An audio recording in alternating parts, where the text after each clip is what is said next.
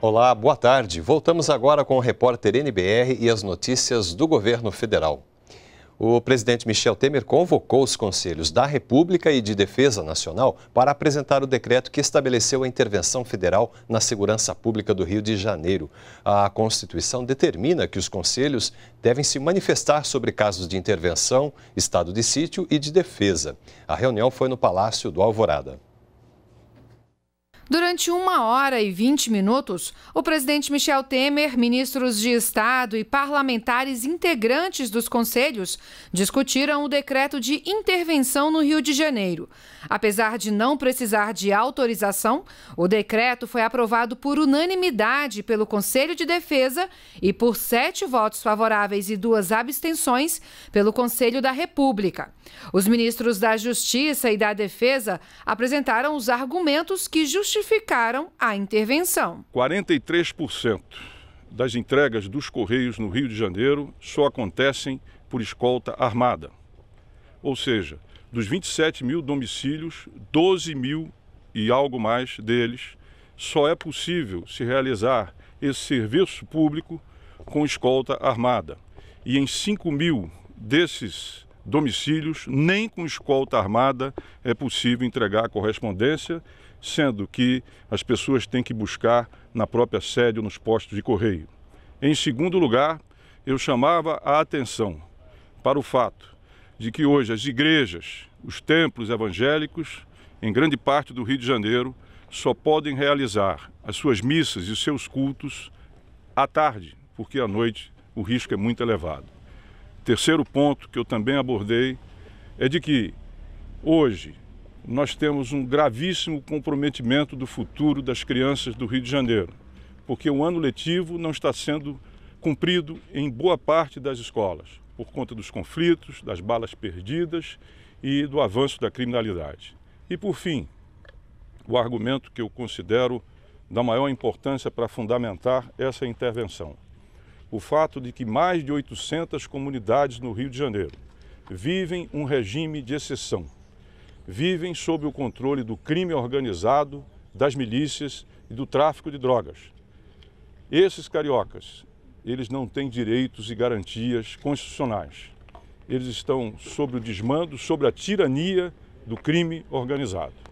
A intervenção não é militar, mas federal e civil. Nesse sentido, o governo está intervindo nas questões administrativas da segurança pública no Rio de Janeiro.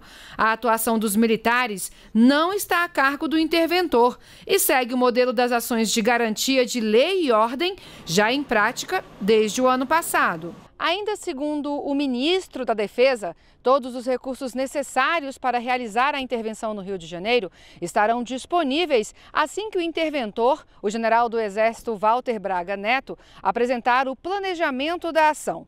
Raul Jungmann também afirmou que talvez as operações no estado necessitem de mandados de busca e apreensão coletivos. Na realidade urbanística do Rio de Janeiro, você muitas vezes sai com a busca e apreensão numa casa, numa comunidade e o bandido se desloca. Né?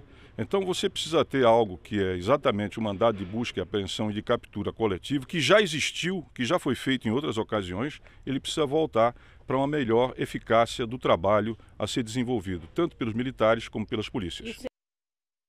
O refúgio é a proteção legal que um país oferece a cidadãos de outros países que sofrem perseguição por raça, religião, nacionalidade, opiniões políticas ou que estejam sujeitos à violação de direitos humanos.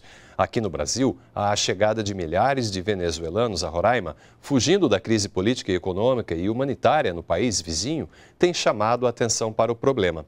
E para discutir a contribuição do Brasil e da América Latina no Pacto Global sobre Refugiados, o alto comissário da ONU para refugiados, Filippo Grandi, está no Brasil. Na manhã de hoje, ele se reuniu com o presidente Michel Temer e também com o ministro de Relações Exteriores, Aloysio Nunes.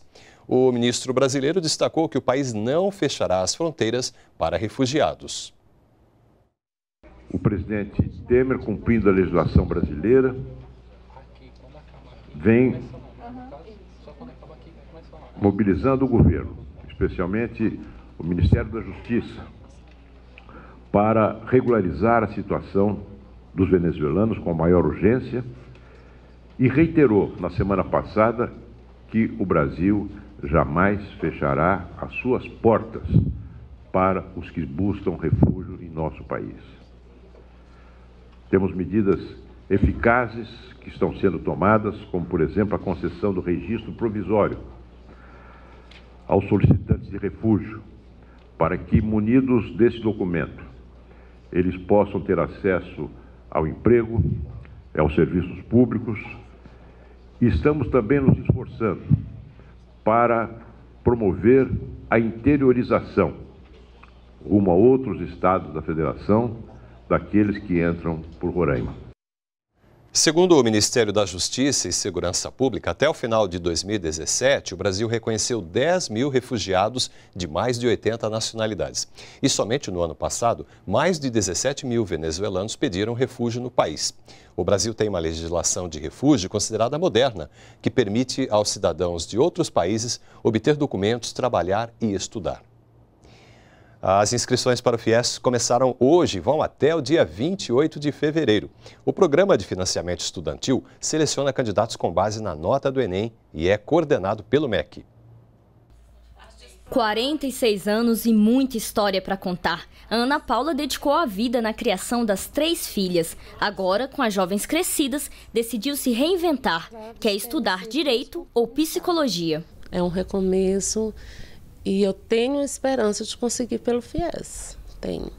Vou entrar, vou fazer minha inscrição e, se Deus quiser, eu vou conseguir. E para realizar este sonho, Ana Paula estudou bastante, se dedicou, fez a prova do Enem e agora vai se inscrever para o FIES. Ao todo, são 310 mil vagas em todo o Brasil, 155 mil só para este primeiro semestre. 100 mil vagas são para estudantes com renda familiar de até três salários mínimos por mês. Esses vão poder pegar o financiamento sem pagar juros. As outras modalidades são para alunos em que a família ganhe até cinco salários mínimos por mês. Até então você tinha um modelo de financiamento concentrado em estudantes até três salários mínimos. Agora nós ampliamos essa faixa. Então, evidentemente que isso permitirá mais estudantes ingressarem no ensino superior privado. Para se inscrever, é preciso ter feito alguma prova do Enem desde 2010, ter média acima de 450 pontos e não ter tirado zero na redação. As inscrições são feitas no site fiesseleção.mec.gov.br e o resultado vai ser divulgado a partir de 5 de março. Nós ficamos por aqui. Você pode rever as reportagens no YouTube e toda a nossa programação também está na página da NBR na internet. Continue com a gente, NBR, a TV do Governo Federal.